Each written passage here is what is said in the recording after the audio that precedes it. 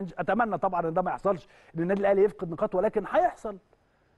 مش ممكن ناخد كل أتمنى إن ده يحصل ولكن خلينا نكون واقعيين. فكل الناس اللي بتبعت لي تقول لي يعني أنا مش فارق معايا حد تاني. والله ما ببص لحد. صدقوني يا جماعة أنا عشان أبص لحد يبقى لازم أبص لتحت. وأنا عمري ما ب... النادي الأهلي يعني عمره ما بيبص لتحت. النادي الأهلي دايما باصص لفوق. فما فيش حد معديني عشان أبص له.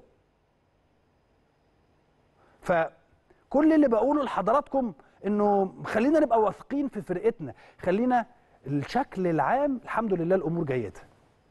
كرة القدم اتعلمنا يعني في كرة القدم إن كل حاجة بتتغير في لحظة. في لحظة. خلينا واقفين ورا فرقتنا خلينا في ظهر فرقتنا. ما فيش حاجة حصلت بالمناسبة. اللي حصل إيه؟ خدنا كاس سوبر كان عندنا يعني 11 قبله الحمد لله زادوا بقوا 12 كسبنا الداخلية وكسبنا أسوان وكسبنا الثلاث مباريات الأولى الحمد لله والشكر لله كرم من عند ربنا ولكن القادم أطول وأصعب. القادم أطول وأصعب. يا عم إسلام بقى هو أنت ما بتعرفش تفرح؟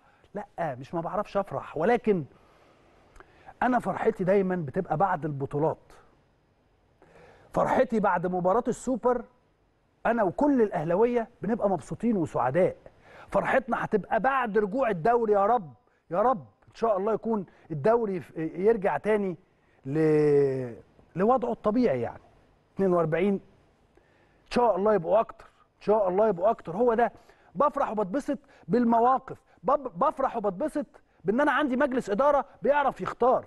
بعرف وبتبسط إنه بعرف وبتبسط إنه عندي مجلس إدارة ومشرف على الكورة يستطيع إن هو يختار. هو ده اللي أنا بفرح له وبتبسط له. عشان كده أنا كمشجع أهلاوي بفضل واقف ورا فريقي بفضل سعيد وهفضل واقف ورا فريقي.